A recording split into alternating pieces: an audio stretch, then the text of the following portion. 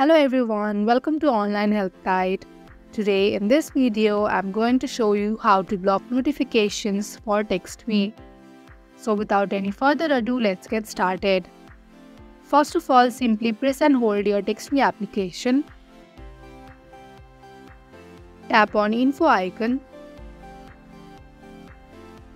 Now onto this privacy section, tap on notifications. Tap on the switch icon in order to block all the notifications for TextMe. And that is how you can easily block notifications for TextMe. Thank you for watching Online Help Guide. Hope this video was helpful. If it was, hit the like button and comment below your questions and feedback. Also, if you are new to our channel, subscribe and hit the bell icon so that you do not miss our upcoming videos.